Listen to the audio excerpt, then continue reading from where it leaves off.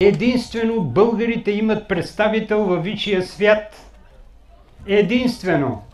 И единствено българите са написани на дясната ръка на Бога. И когато Бог погледне към ръката си, казва, те са тук. Ето за това, каквото и да се опитват да ни мачкат, трепат и така нататък, ние сме тук.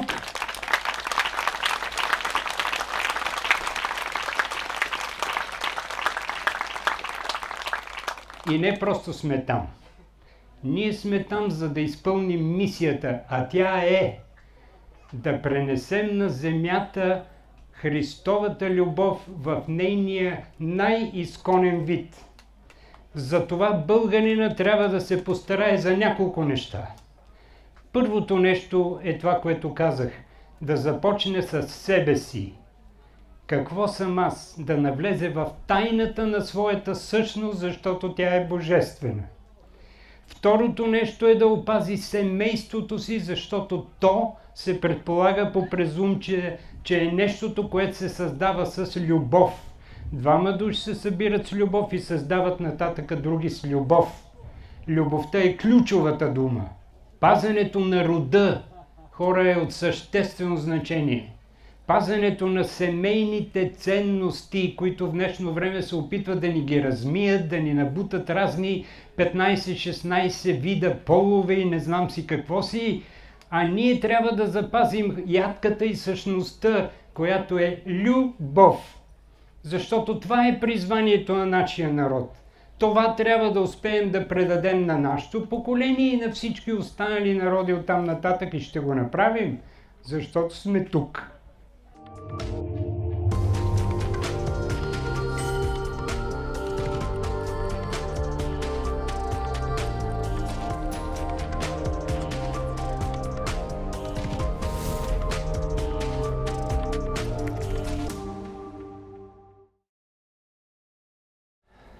Така, мили хора, говориме за българския дух. Защо? Заради това, което пише на онзи камък.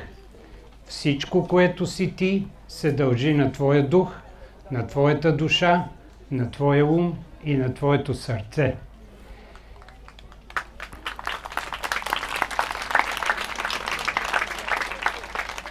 Когато говориме за духът, има няколко неща, на които задължително трябва да си дадем сметка.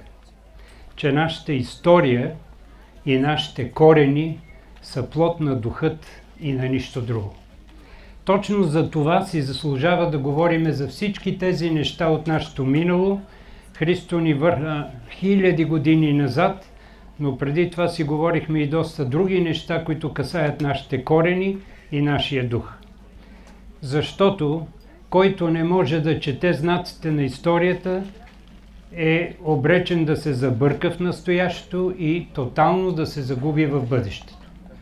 Има нужда да говорим за тези неща.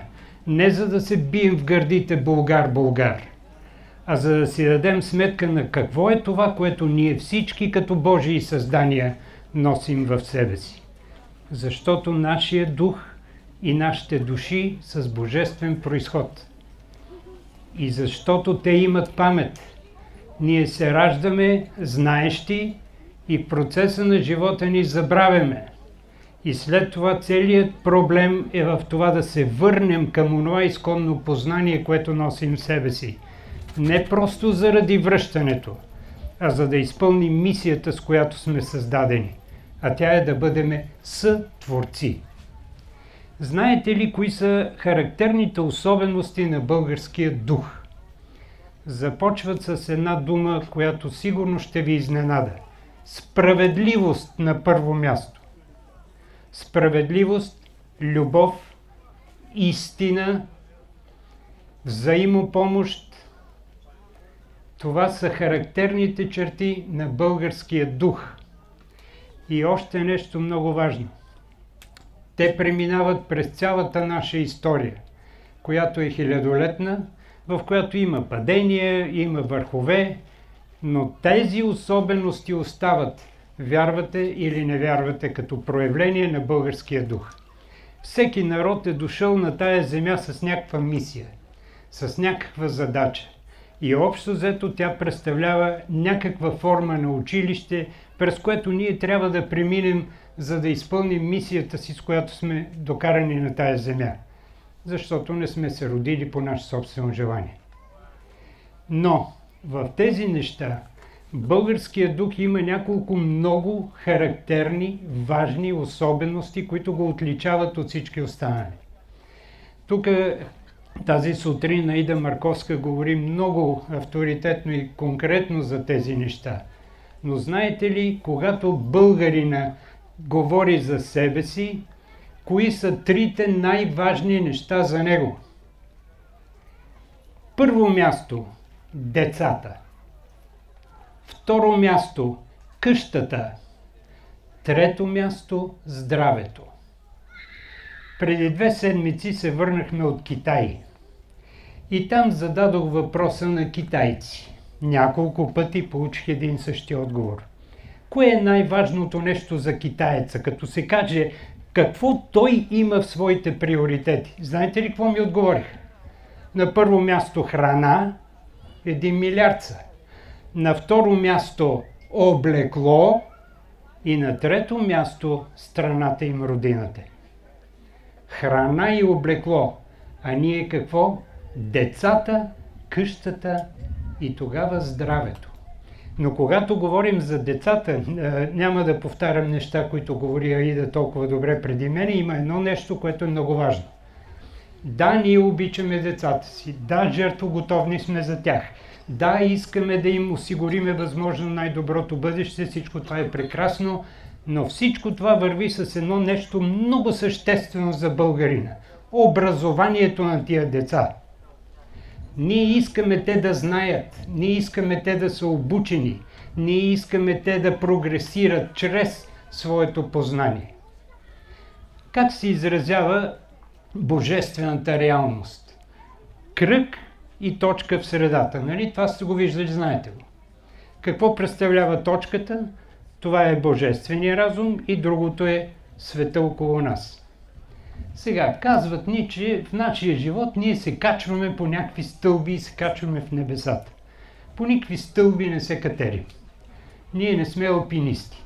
Ние просто тръгваме от точката, която е божествената реалност в нас и започваме да се разширяваме към края на кръга, т.е. да опознаваме света в неговите божествени проявления, защото всичко е божествено проявление и започваме да се връщаме, като го опознаем, започваме да се връщаме към божествената реалност. Как? Сътворчески. Тази дума е много крещящо важна за нас българите, защото я изпълняваме, вярвате или не, прекрасно през всичките тези хилядолетия. По един уникален, не обичам тази дума, но не ми дойде друга по-добра в момента, начин в който ние българите се вписваме в световната история по специален начин. Българина от първия миг на своето съществуване се занимава с проблема да бъде в хармония с този целия свят около нас.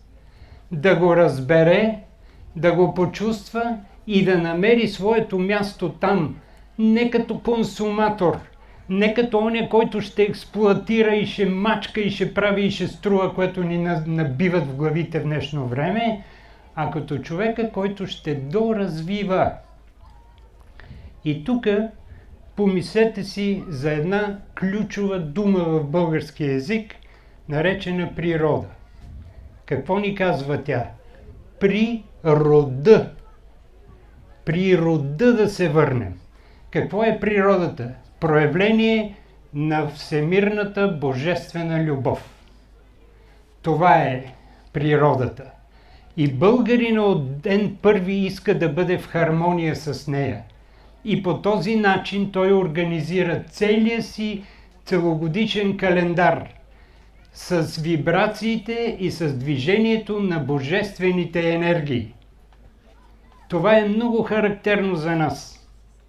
Казват, българина не бил религиозен, ама бил е, е, фаталист. Нищо подобно. Българина знае как пулсира този е, свят, тази вселена. Българина знае, че това не е случайно. Българина знае, че това е подредено по точно определен математически прецизен начин, с любов. И затова той се отнася с любов към всичкото това и прави е, календара си по този начин. Когато по българските земи се приема християнството, първо тук, още в първи век, се приема така нареченото апостолско християнство. Няма да се задълбочавам в тази тема, говорил съм много. Но там този момент на, на синхрон с, на всемирните енергии е много съществен. Не случайно църквата се страхува от това ранно християнство и го забранява. Може да не вярвате, но дори откровението на Йоанн дълго време не присъства в Евангелието. Това пророческо християнство е неудобно на власт имащите. И те го премахват, но не и за българина. Били сме ариани, такива, унакива, а, а, Селенските събори ни отричат, ние пък си правим едни други, защото в Сирмиум се създава християнска общност, която е независима от тази в Константинопол и ние продължаваме това да бъдем в синхрон с божествените енергии. И го правиме до ден днешен. Това са нашите е, е, суеверия или какво, е, какво искат да го нарекат. Това са. Това правиме ние.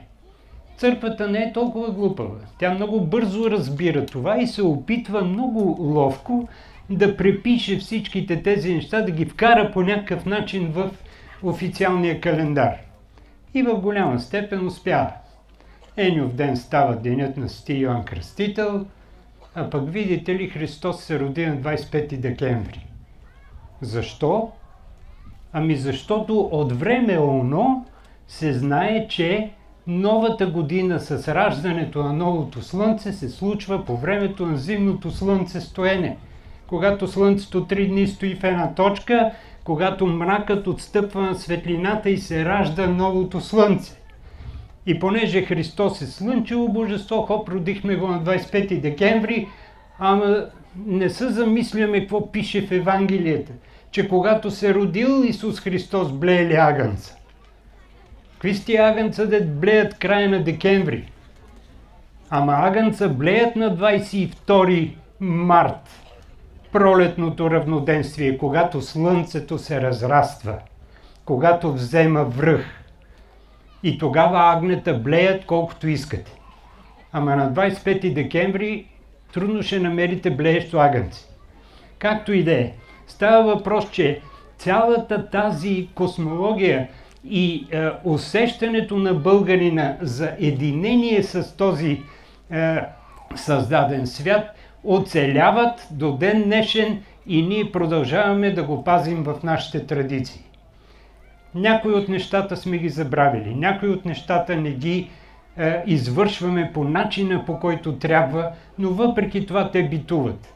И точно за това отварям тая дума, защото смисълът на възраждането на българския дух е в това да се върнем към онова познание, което го носим, имаме го, познаваме го, знаеме го, просто трябва да го събудим в душите си, за да живее то по начина, по който то е замислено, а то е замислено да бъде в синхрон с. И знаете ли, къде все, а, какво представлява всъщност тази природа? Природата е тайнствената тайна вечеря на, на Бог. Това е изразът на всемирната божествена любов. И тази е, първа тайнствена вечеря, тайна вечеря, всъщност е първата степен на е, посвещение в богомилското учение. Защото това представлява една всемирна трапеза, на която храната е свещена – и към която трябва да се отнасяме, както е казал учителя е, Бенсандолон Петър Дънов, трябва да се отнасяме с уважение към творящите енергии и да се синхронизираме с тях. На първо място, кое е житното зърно. Като символ на цялата тази мистериозност, в която ние битуваме. Хляба, плодовете и водата, която пие. И не случайно се появява тази молитва Отче наш. За какво благодарим в нея? Там обаче богомилите нанасят едни съществени корекции, които ще ви кажа сега, ако не ги знаете. Какво се казва в официалната е, Отче наш е, е, молитва? Хлябът наш насъщен, дай го нам и днес. Какво искаме да кажем от Бога? Да дойде слез да уре земята, да засява, да ни даде хляба ли? Смисълът на това е хлябът наш над същен. Дай го нам и днес на това, което се намира като същност в храната, която ни обожествяваме. И още нещо. Не ни въвеждай в изкушение. Кой да те въведе в изкушение? Господ ли? Въвеждате в изкушение сатаната. Господ не може да те е, въведе в изкушение.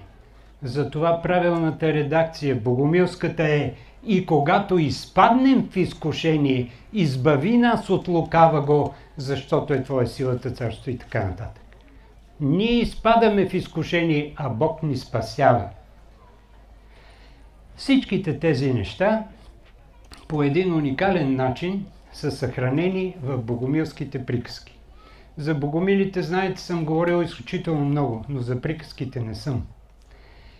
Българските богомилски приказки, освен в нещата, които знаете, може би от богомилските легенди на Николай Райнов или от Йордан Иванов, са съхранени от една жена, която се нарича Лидия Шишманова.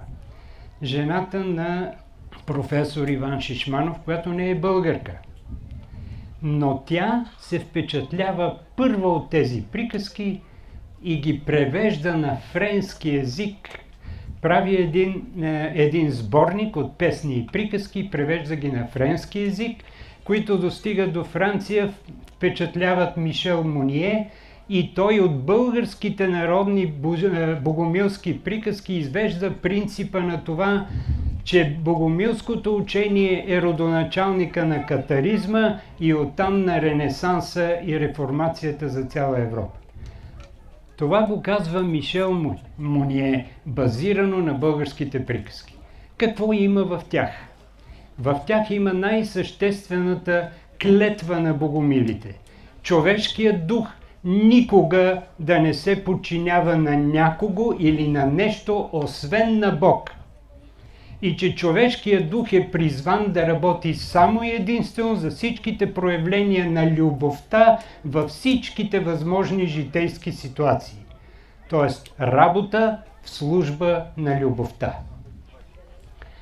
В какво се изразява това? Съвсем накратко ще ви скицирам прощавайте, някои от тези богомилски приказки. Първата. Как създаден човек?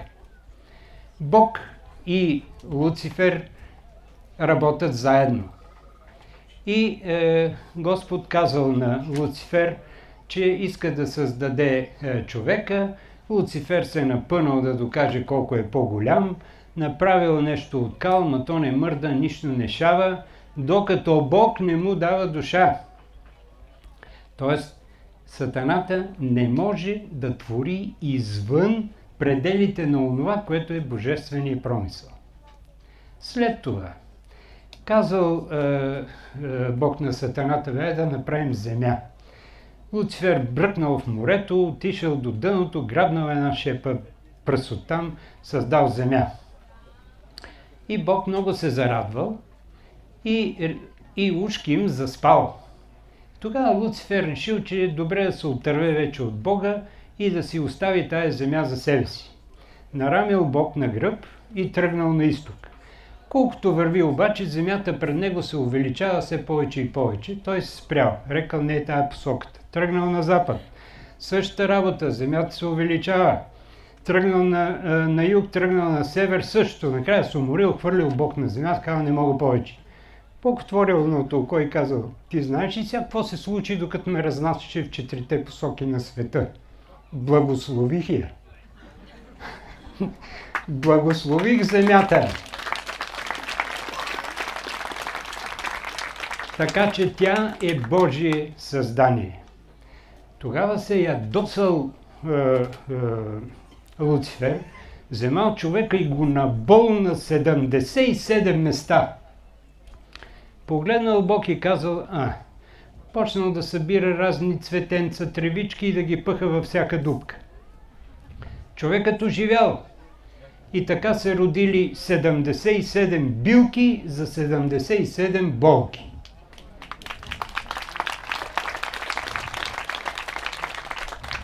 Ето основата на билкарството, в което ние, смело мога да го заявя, сме световни шампиони. Единствените, които могат до някъде да успорват този ни приоритет са китайците. Но те имат друг принцип, другата на, на китайската медицина. Но това, което ние можем, е това. Не случайно говорим за Василий Врач и за Петър Димков след това, като него, е, като природения Василий Врач. Та, създаде Бог човека, благослови земята, създаде билките и даде на човека свободна воля. За какво? За да работи в негова полза като сътворец. Добре, ама паднаха ангелите на земята и изведнъж хоп, настана суматоха създаде се някаква нова ситуация, в която общо казано наричаме добро и зло. И тогава Бог даде свободната воля, за да избираме в каква посока да се движим и в каква посока да сътворничествуваме. Почнах да измислям нови думи. Е, та, в тази връзка нашето призвание е да осъзнаем кои сме, що сме и как сме и да вървим нататък. Какво е казал Боян Мага? С какво започва смисъла на човешкия живот? С откриване на тайната вътре в самия себе си, за да осъществиш реална връзка с Христовия дух, който да те води в правилната посока към Божествената реалност. Това е задължение хора на всеки един от нас. Няма кой да го направи вместо нас – нито пък ние можем да го направим вместо някой друг. Тук е индивидуалната ни отговорност. Затова богомилите са казали, че никой не носи отговорност за чужди грешки или пък може да изкупи грешки за децата си и да ги предпази от. Не може. Индивидуална човешка отговорност е да намериш този ключ вътре в себе си, тази мистериозна тайна на своето съществуване, за да се свържеш, както е казал учителя е, е, Бенса, Петър Дънов, с творческите енергии Христови и да станеш истински творец на. Сега, хубаво ги приказваме тези неща. Въпросът е, от всичкото това ние днес какво правим? И преди да ви го кажа, искам да ви прочета какво са казали богомилите като тяхно веруя.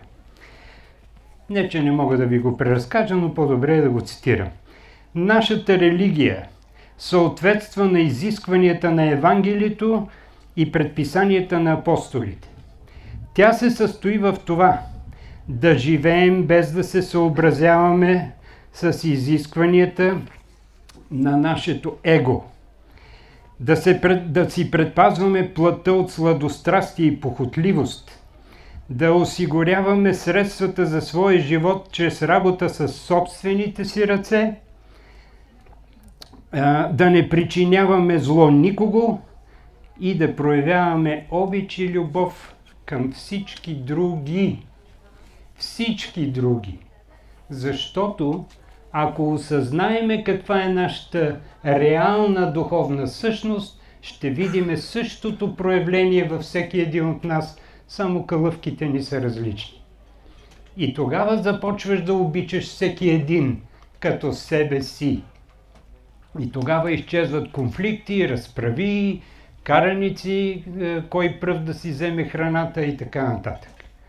Заживяваме като една сътворяща в името на Христовата любов общност. И сега пак, хубаво е днешния ден какво правим? Днешния ден ни казват, учат и ни набиват главите, че живота е състезание. Гледаме по телевизията всякакви налудничеви е, реалита, в които някакви хора по безумен начин се състезават, единия ще спечели и вземе много пари. И за да го направи, трябва да прецака един куп други.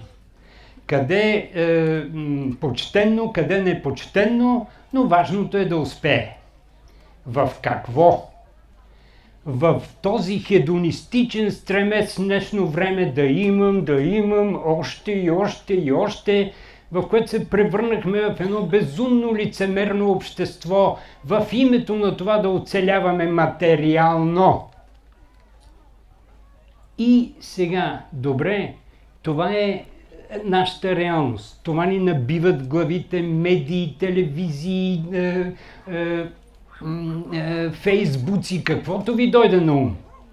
Целенасочено, умишлено, съзнателно и безкомпромисно.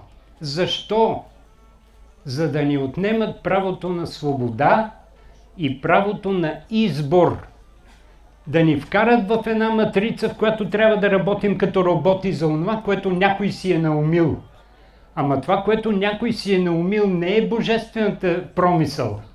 Нито е свързано с това ние да бъдем сътворци на, а е свързано с това да бъдем роби. И тогава пак, добре, ЕИ и ЕИто започва с отдолу нагоре. Не можем да чакаме да дойдат някакви управници и да ни решат тези проблеми. Няма да стане. Никъде по света не е станало, а пък с нашите хубавци съвсем няма да стане. Затова ние отдолу нагоре, т.е. от личната ни отговорност започва. Какво е казал пак ще се обърна към е, учителя Дънов. Какво е българина? Българин е олицетворение на Божествения дух. И България е котилото на всякакви духовни учения, свързани с приобщаване към Божествената реалност. Българина се отличавал с едно много специално качество, наречено твърдост. И когато Бог иска да накара някой или да е, вкара е, общество от хора в това да бъдат твърди, ги преражда като българи. Тази твърдост обаче носи последици и те са важни. Бог решил, че като са толкова твърди българите, ще ги сложа на гърба на всички останали нации. Всички останали ще бъдат пред нас. Защо? За да може българина със своята устойчивост, със своята твърдост да предпази всички онези от напаните на сатаната в гръб. Тоест, когато говорим за това, че ние тук на земята изпитваме някакви трудности и българите сме преминали през какво ли не, в нашата многохилядна история, ако се замислите, се е случвало абсолютно всичко, което някога някъде на нашата цивилизация се е случвало. От типа на Велика империя, робства, е, какво ли не, всичко каквото ви дойде на ум е минало през главата на българина. И ние сме тук, и ние сме оцеляли, и ние се наричаме българи, както сме се наричали преди хиляди години и сме първата държава в Европа, независимо там какво мислят разни западни историци. Те всъщност...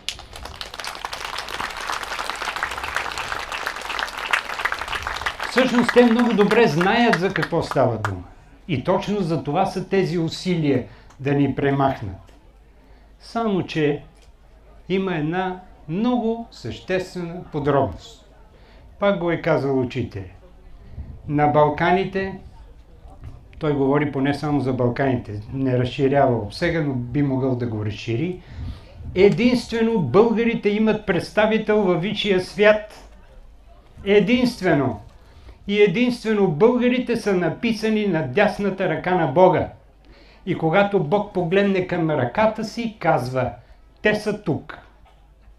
Ето за това, каквото и да се опитват да ни мачкат, трепат и така нататък, ние сме тук.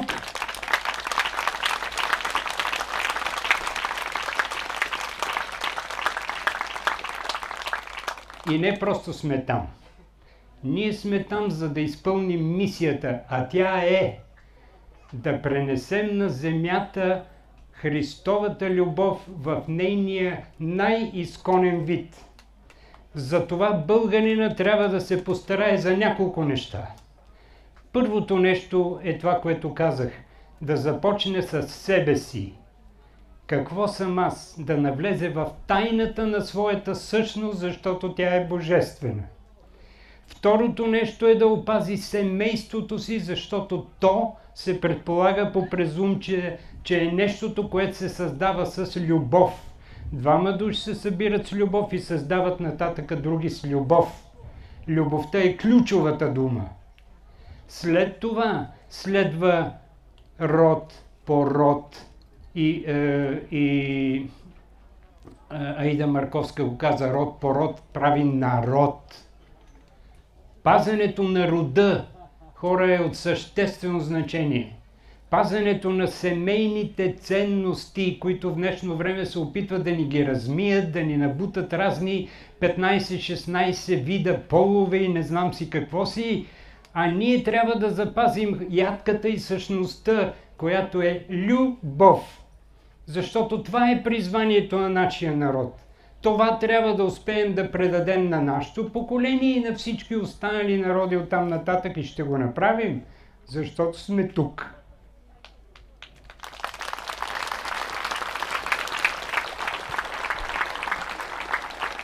И не на последно място, какво представлява народното творчество и всички тези занаяти и още много други, които е, съществуват. Проявление на творческия гений на духът. И ние сме длъжни да запазим това, не като някаква музейна ценност, не като някаква панаирджищина, в която ще печем кебабчета, ще леем бира и слушаме чалга – или ще развяваме български знамена за щяло и нещяло. Не говоря за такава патриотарщина, а говоря за запазването на смисъла на това народно творчество. Надявам се в тези дни, това беше една от е, е, така, е, е, замисъла на, на нашата среща днеска. Да заговориме за това каква е същността на този занаят. Какво от душата той предава и как – какви са тези шевици и тези е, символи, които е, ги носим. Не защото стана модерно да се обличаме така, или защото ги слагаме без да разбираме какво правим, а за да имаме съзнанието, че когато изпълняваме този знак, ние извършваме нещо, което ни връзва с божествената реалност и което ние слагаме на себе си, за да ни окрилява, пази, вдъхновява и така нататък. Смисъл е да запазим това познание като нещо, което го носим в себе си. Защото Вселената не слуша ума. Ума работи с петте сетива и работи за земната материална реалност. Но Вселената слуша душата и тя знае. И тя трябва да запази всичко онова, което българският национален дух за тези хилядолетия е успял да съхрани, претвори, пресъздаде. В шевици, в е, грънци, в колани, в какво ли не, във всичко това, което говориме тук. За да го предаде като творчески импулс, а не като някаква музейна история или панерджилът, на който ще, е, е, вече ставаме свидетели. Това не е целта ни. Целта ни е да изпълним божествената си мисия. Онази, която е да предадем любовта и да работим с любов. И за това ще завърша с думите на гениалния Руми. Изберете любовта, за да ви избере и Бог. Благодаря ви за вниманието.